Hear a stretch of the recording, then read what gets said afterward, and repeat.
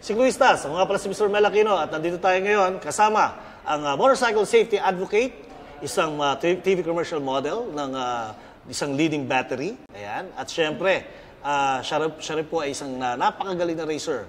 Walang iba, the only one, Miss Love Love Choseco. Good afternoon, mga viewers, and uh, thank you, Mel, for inviting me Ay, to your thank- show. And thank you rin, Ma'am Love, for uh, coming here in our show. For you, anytime, all the time. Wow, thank you very much. So right now, ma'am, uh, we are having this event.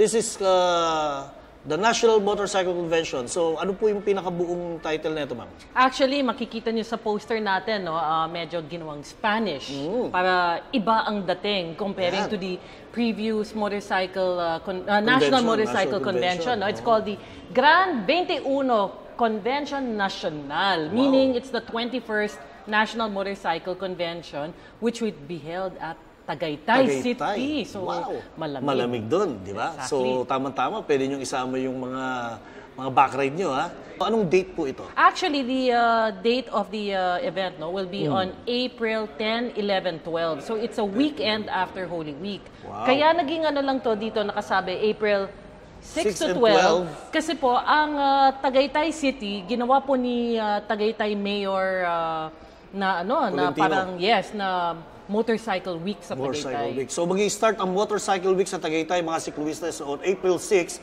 at matatapos to ng April 12. That's right. Okay, so ano-ano ba ang mga ini-expect ng mga riders natin dito? Well, aside from uh, our uh, uh, Mel Aquino, no? Ikaw kasi ay uh, you will be leading Yes, one of the uh, Guinness Book of World Record uh, attempt Oo. to break. Kaya pasensya na si Mother Nature for a Oo, while, For no? a while, oh, kasi burning tires muna ito eh. So, uh, I'm also inviting all the riders na yung mga interesado, mag-register lang po kayo then ma- para makasama kayo officially as a representative of uh, this uh, feat that we're going to to do. That's right, Mel. At saka meron rin tayo po, syempre, mga display of uh, different motorcycle brands. Okay? Uh, mga big bike at saka mga small bike. Small bikes. Yes, by the way, welcome ang mga big and small bike. Ang nag-umpisa na ipagsama yung small and big bikes, Hmm. um, yung nag-host ang Lawin Motorcyclist Club, which is Hmm. which was founded by our very own, uh, our very own, no? Very- very own. General, General uh, Ray Beroya, na Beroya. dating LTO chief. Ah, yes, of Tsaka course, dating uh, ASEC sa DOTC. Kasi siya rin ay isang rider. Yes. At naniniwala siya na, you know, na bakit ba dinidiscriminate natin ang, or pinaghiwalayan ng small and big bike? Eh, kaya nga National Hmm. Motorcycle Motorcycle, Convention. Convention. So, lahat ng motor, dapat, Dapat magkakasama. Yes. And then also the camaraderie, they will experience na yung mga small bikers will be buying big bikes din eh, di ba? Malay ya, di ba? Siyempre, yung mga iba dyan, nagsastart lang sa maliit. Katulad natin, nag-start Tama. tayo sa maliit. And Hanggang then, ngayon, maliit pa rin yung dala ko. Eventually, nag-level up. No, actually, si Oh. Mel, lahat ng motorsiklo kaya niya i-drive.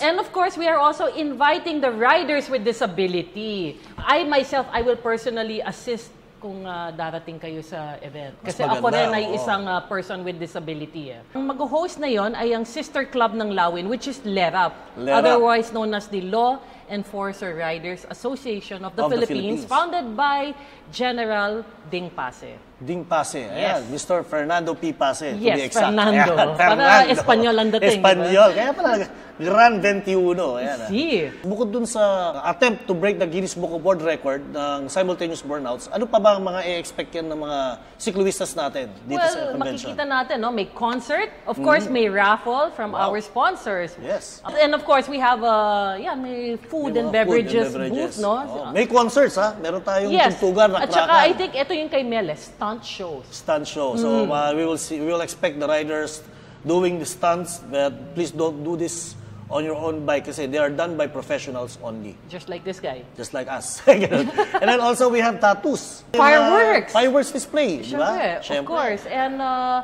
much more. So, uh, And and, also, then may touring.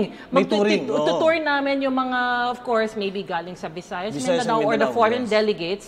Um, we have a committee that will tour you around Batangas, Nasugbu, yeah, in that area, no? And uh, may track day din. May track day din tayo. Yes, Mel, may track Well, day din. That's track a day will be at BRC. BRC, Batangas Racing Circuit. So, meron din akong balita na magkakaroon din syempre ng uh, raffles and then also yung pinaka-puso ng the National Convention is yung safety riding. Of course. Ayan. Please lang, magsuot po kayo ng helmet at mga safety gears pagpunta nyo sa aming event. Buckle up, make sure kung uh, maganda ang panahon, mag-bring pa rin kayo ng rain gear just in case. Pwede kayo mag-camping dun sa venue. Uy, Magbaon lang kayo tamang-tama. ng tent. Actually, sleeping bag nga lang ang uh, dadalhin ko dahil na, napakalamig sa Tagaytay, no? May campsite yata tayo ron. That's right, Mel. Meron. Good. Ma'am Love, invite them to our uh, event this coming April uh, 6 and 12. Okay, sa mga fellow riders natin, welcome lahat kayo sa aming uh, 21st National Motorcycle Convention which will be held at Tagaytay City on April 10, 11, 12. Yun yung main, uh, Main, dun, uh, nandun lahat yung main, main program. ev- yes, Yes. program on that weekend. For more details about the event, just please uh, go to our website which is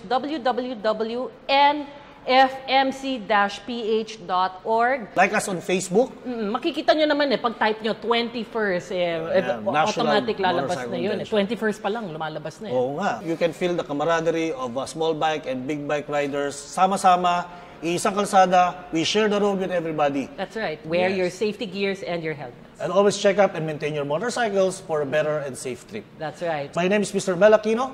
And of course, this is Love Love at your service. Forever loving Mel. Yes, and this is uh, Industry News.